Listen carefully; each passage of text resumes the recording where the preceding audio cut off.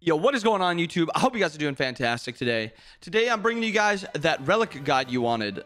I don't know how else to do the guide other than just like tell you if the relic is good or not in support and then when or why you'd want to build it. So that's kind of what we're going to be doing. I'll look at the upgraded ones too. Um, I'll tell you which one I think is better and if there's a scenario where there's a reason to pick up the other one. So yeah, let's just jump right in. Starting off with Cursed Ankh. Cursed Ankh is obviously only built when they have healing on their team. I would really only build it if their comp revolves around that healing. If they have a Hel, uh, a Yemoja, Terra, gods like that, where they're healing kind of the entire team and not just one single one-off person. If they also have like just a lot of healing uh, built into their kits or stuff, they have Dive of Kama, Guan, uh, they have a Hunter for healing. Maybe their mid laner's got a, a, Soul Gem or something like that. And then their support has some healing somewhere too. It's fine to pick up the Ankh also because this is very valuable. If you read it, take 20% more damage and then all healing reduced by this effect is distributed to your allies in a 40 minute radius. So this one's good. The Blighted Ankh is the better one. If you ever building one of the Ankhs, build this one. Drowned Ankh is terrible.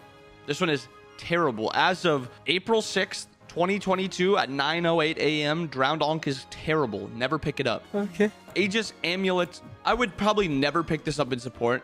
Doesn't really matter what their comp has. Uh, even if they have like a Kraken, there's better relics somewhere else. Just don't buy Aegis. Neither are good in support. Heavenly Wings. Always at least an okay pickup. They, there's a lot of slows in Smite. A lot of characters have slows. Uh, relics have slows.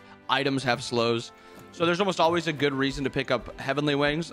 The, the decision you have to kind of think about is, is there just a better option elsewhere? Entangling Wings is good if their dive has really no CC immunity or like no dashes. If you're getting dove by um, like an Osiris or something like that, you basically just force out his ult, it, or you get a good amount of distance wasted. Hasten Wings, I think, is almost always good. It is very, very, very strong when you are team fighting in the late game. And like when your ADC finally gets like those six items, you just pop this and your ADC can usually win you a fight because movement speed and like that basic attack attack penalty just being gone is insane for a team fight. I think Hasten Wings is almost always the better pickup but there is some value in Sprout in some games. Blink, does your character need to be the engage? Are you playing Cabrakan and you need to get your ult off to like start the fight or a stun?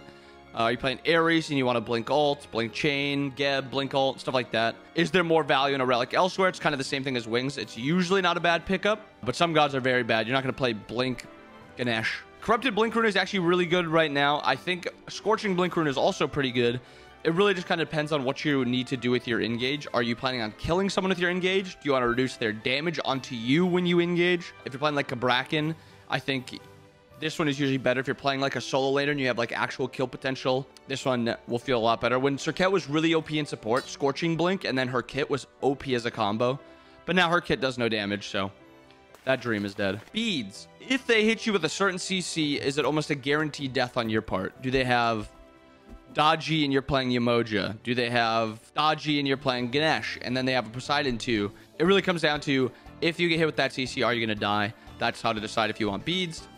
Chaotic beads, don't build it ever. Temporal beads, if you're building beads, upgrade it to this one. TP, unless you're genetics, don't buy TP in support. Med. Med kind of got a pretty big nerf at the beginning of this year. It's kind of fallen off viability a lot. But I think the upgraded, this med on the left is still incredibly strong. The problem is the level 1 is pretty weak. You could mess around with getting this one at level 12 because it's giving you massive heals and then cooldown resets by 1.5 seconds for every pulse. It reduces it by 6 seconds over that 4 seconds. So this one is very strong. And I don't think I'd ever build the Cloak of the Avatar. If you're ever going into meta as a support, just build into this one. It's This one's very good. Base med is pretty meh. I wouldn't recommend building it at level 1 right now, and then I would never build this. Shell, the same way that Sprint is good in nearly every game, Shell is good in nearly every game. It's a long cooldown, which is one of the downsides of it, but it's always going to be at least okay. Fortifying Shell is very, very, very good right now. I think it's one of the best relics in the game for peel. And then Phantom Shell is better than Fortifying Shell if they have a wall you have to be able to get through, or like a Cthulhu's body blocking a lot and you need that to be able to walk through the Cthulhu. Thorns, don't buy Thorns. It's one of the, it's probably the worst relic in the game right now. Yeah, it, it is the worst relic in the game right now. Don't buy it. Sundering Spear. I think Sunder's actually in an okay spot right now. Uh, having two charges of it is actually pretty underrated. It allows you to sunder one person in a fight, and then if they get out, you can sunder the other guy. Or if you know you want to kill this guy and you need a little extra damage, you can put two into him. I think it's fine at level one, but it does, it's definitely not on par with having like a shell or a heavenly or one of these other ones, but it's okay. And then into the late game with this one, that splash damage highly, highly underrated. You can get a five man sunder on the enemy team. A five man sunder. Just keep that in mind. You you can. I, I got a uh, a three man one a couple days ago, or actually, I guess it was like a week ago or something now. But it, it was, I chunked like three or four people by like 700 damage or something like that. It's actually very strong, and I think Sundering Blast is a bit underrated.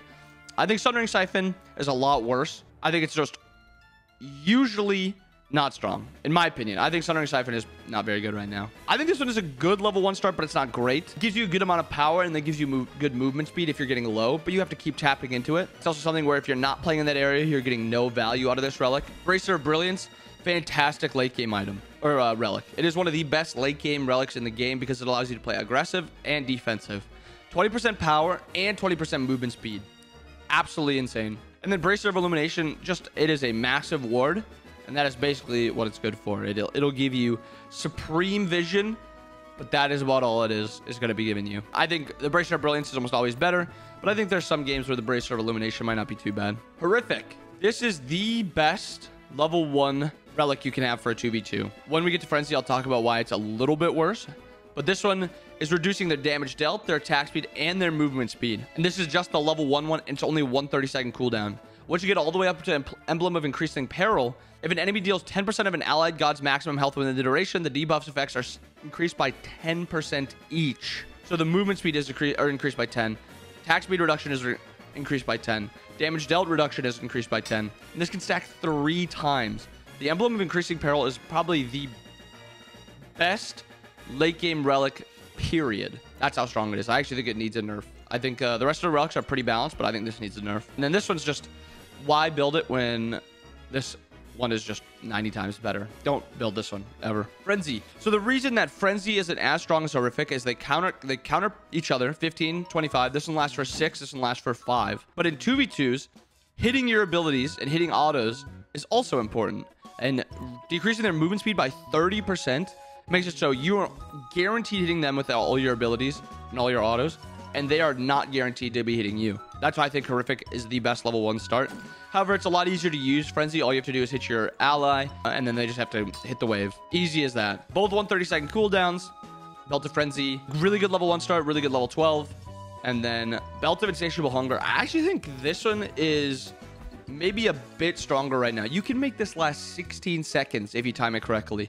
If you time it perfectly on the Fire Giant, because it's on Fire Giant also. I don't know if it's intended. It doesn't say it just says it says on an, on an enemy god, but if you hit it on Fire Giant or Gold Fury, it extends it to. Or I guess I don't know about Gold Fury, but if you hit it on fire, it extends the duration. If you do this on a Fire Giant fight, and right as your Belt of Insatiable Hunger is about to give up, you kill the fire.